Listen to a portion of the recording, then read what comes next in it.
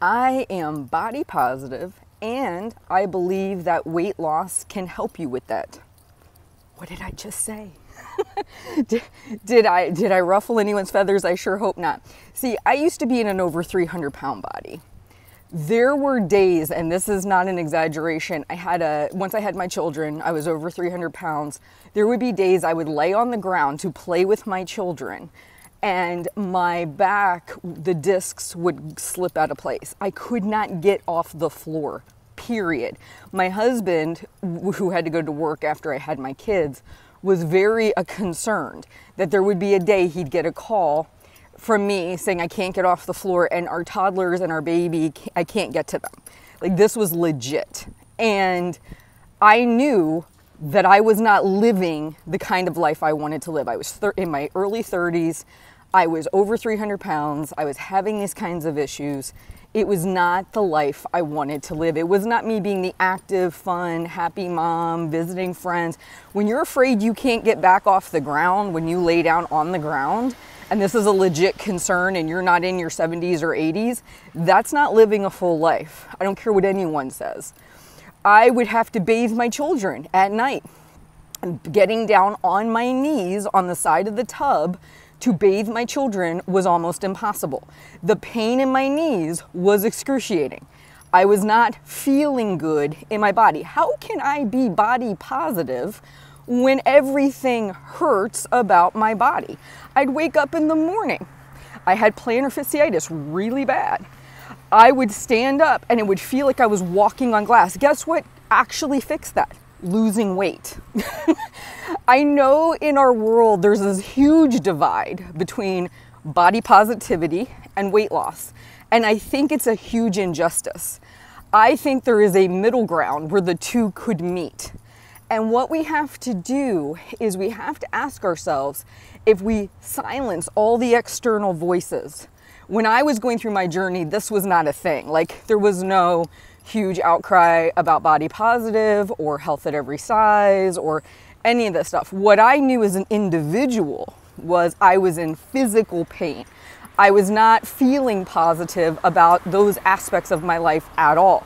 It was hard to walk, it was hard to move. Everything was hard. And so I decided to lose weight. But you know what I chose to do where the positivity came in? I decided I wasn't going to follow somebody else's plan. I was going to pick things that I could do indefinitely, that I could live with, that were healthy behavior changes, habit changes.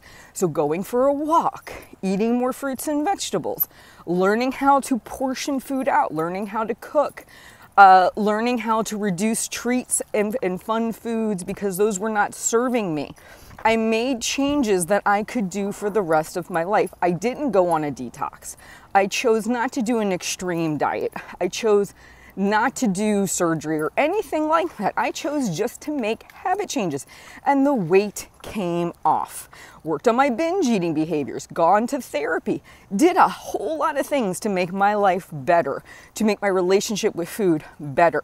And so I could physically get out of that body that was imprisoning me in daily, constant, grinding pain. I will never forget that pain. So whenever I see somebody say, oh, just be positive at whatever body weight you are and just live with it.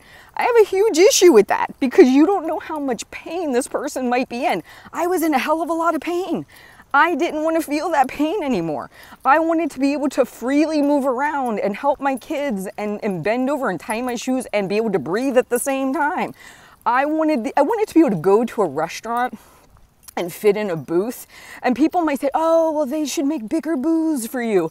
No, I just wanted to be normal, just a normal human body. That's all I wanted to be. Now, where I defer or I differ from all the other fitness health people out in the in the in the uh, internet world is I also don't believe that you have to go based on a BMI chart or a doctor's recommendation or if you belong to a weight loss support group if they say this is what you should weigh. I disagree with that. I think you should allow your healthy habit change, your fitness, healthy changes that you make to your fitness, guide you in the direction of a weight that is sustainable for you for the long term. So whether, you know, you might have a chart that says, oh, you're, for your height, you should weigh somewhere between 130 and 145 or whatever. And let's just say you settle in at 155 or 160 or 170 and you've knocked off a substantial amount of weight and you're living your life the way you want to. Your body has stopped hurting you and you are in a place where you can be active and go do the things and fit into fairly normal size seats at restaurants and all that good stuff that comes from it then stop there. Why keep going if you don't if it if you if it's a struggle to get to that next lower weight and you're just doing it because somebody's dangling the carrot out in front of you, you can choose not to go after the carrot. You can choose to say, you know, I no longer hurt, I feel good, I'm at a weight that I that is lower than where I was when I started, and I have my life back. I have no pain, my medication's better. So, this is the weight I will maintain. And you can make that decision. See, that's where you take the autonomy from this whole process. You get to decide, not somebody else. And that's what I want to encourage everyone. Do not buy into this has to be either or. Either I'm all about weight loss and I'm going to get to this goal, or I'm all about body positive and the health at every size and and I refuse to even think about weight loss. Well, wait a minute. How do you feel in your body? Does it feel good?